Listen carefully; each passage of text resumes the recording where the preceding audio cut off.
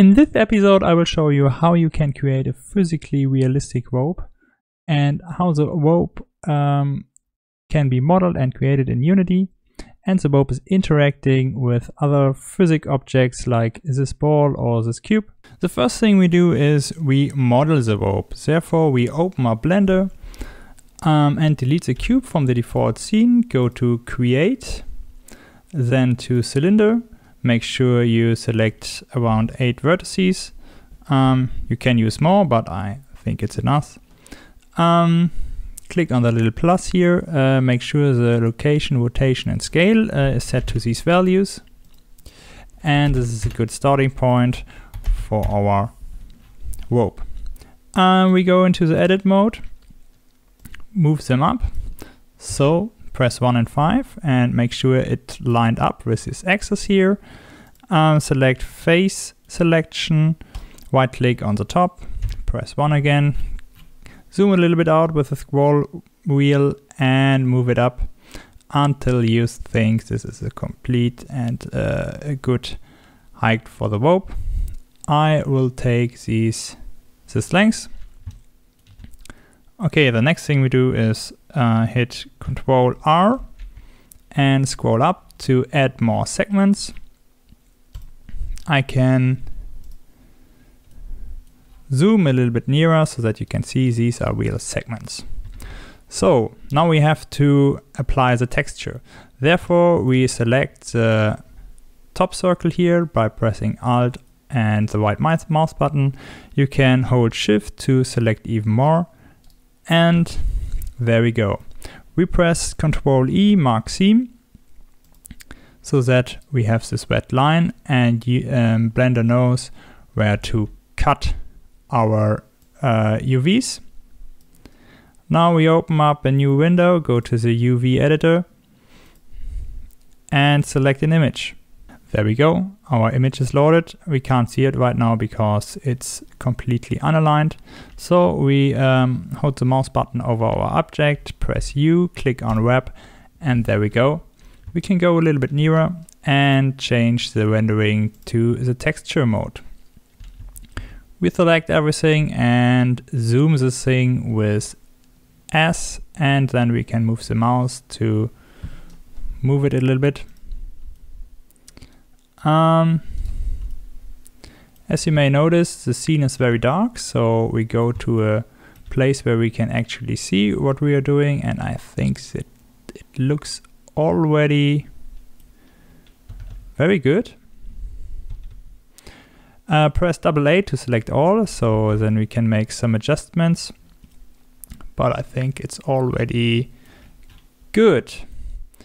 So um, let's get rid of this view on the right by clicking this edge here, drag and drop it to the right. We rename the cylinder, just double click and name this rope model.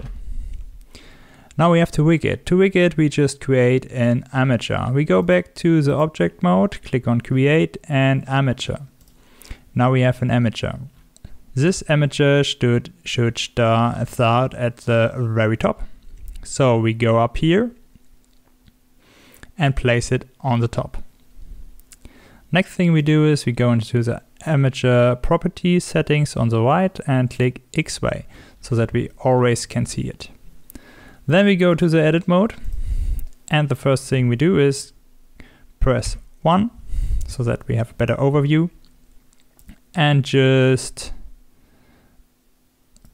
takes this a little bit down. So, and there we go. Now, the next thing we do is we just um, create this bones by pressing E, and we have a new bone.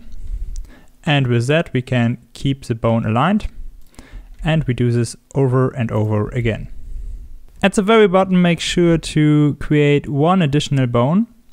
This bow, all the bones are represented by one node in Unity, and Unity uses uh, uh, one that is at the side with a broader width here.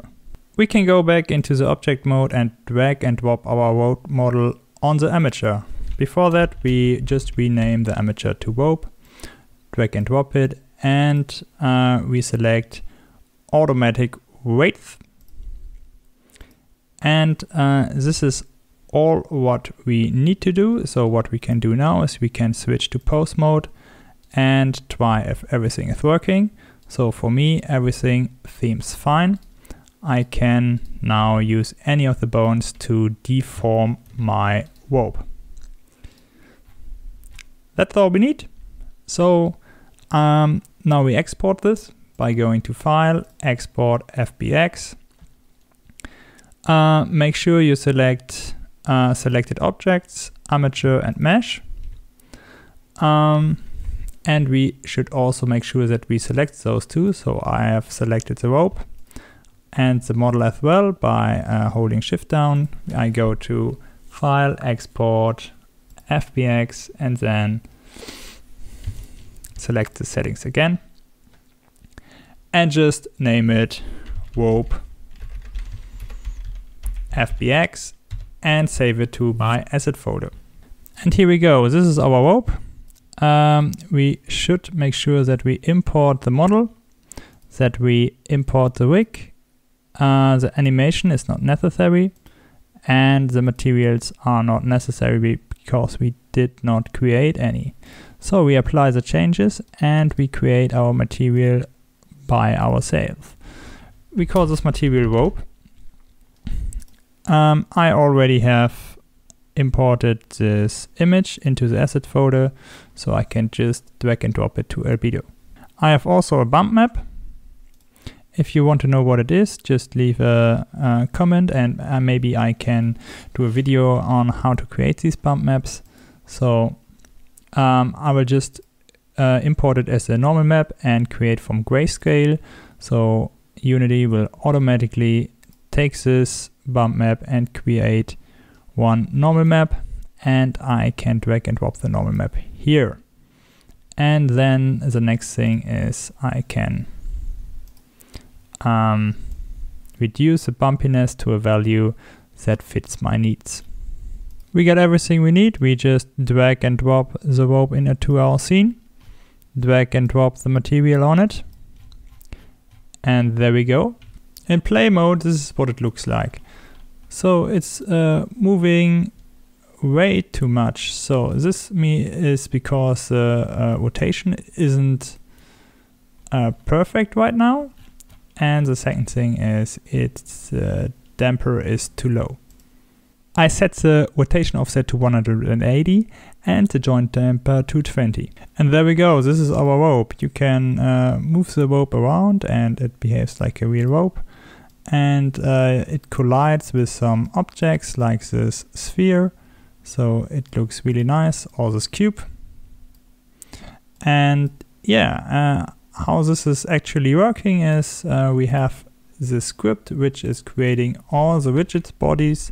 So you could also create all the rigid bodies by uh, yourself and this rigid body has a distance joint 3D script on it. So it creates a joint be between uh, the current rigid body and its predecessor.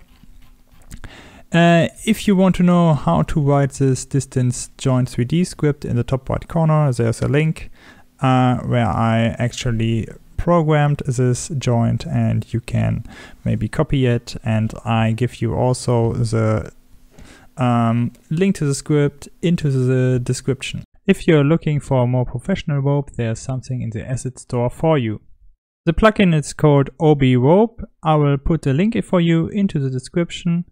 And uh, this has way more capabilities than our rope here.